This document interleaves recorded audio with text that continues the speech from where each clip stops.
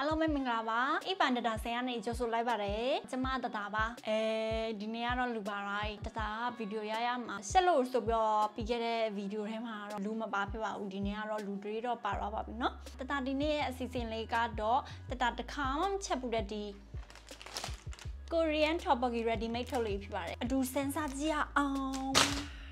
စားရမယ်အယောင်လေးကတော့အရန်กว่าเนาะဒီဟာချီစရတာဒီဟာကငုတ်ဒီရတာ อืมတတားဒီချီစရတာအပေါ်ကို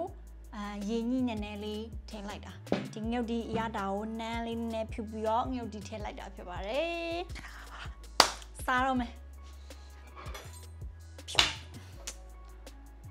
ခုလိုလေးရဲ့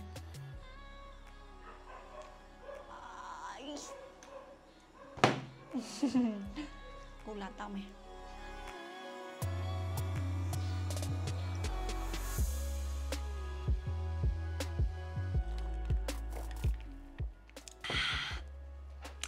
ချစ်စရာအရင်စားမနော်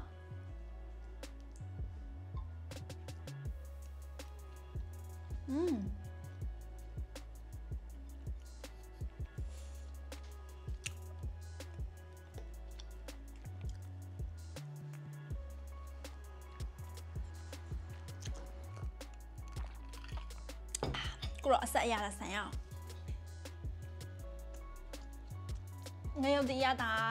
ဒါတော့ရနေဆက်တယ်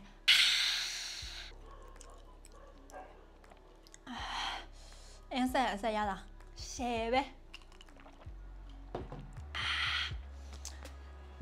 တရာခန့်လေးကြရင်အာသမင်းနဲ့တော့စားတော့မယ်ဒီတိုင်းတန်းစားအရင်ဆက်တယ်အခုတရာအရသာလေးကို share ရပေးမယ်နော် အမ်ဒီ cheese အတားလေးကတော့အာနည်းနည်းတာအတွက်တော့နည်းနည်းအီးရယ်ဒါမှမဟုတ် cheese ကြိုက်တဲ့လူအတွက်တော့100% share ပဲဝယ်လိုက်တော့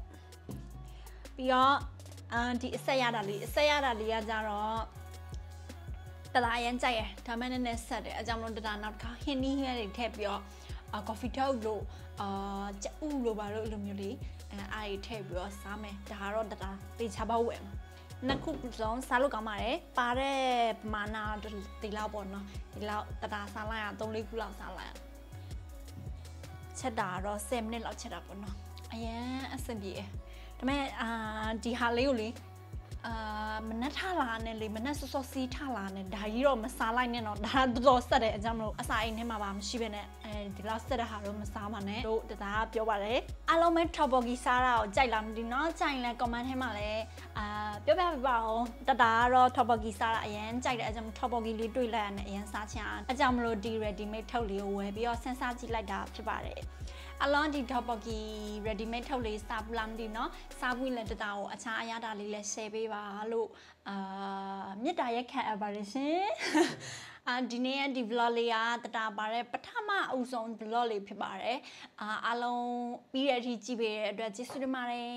အာဒီ vlog လေးကိုကြိုင်လဲ like လေးပေးပြီးတော့ share ပေးပါအောင်နော် see you guys bye bye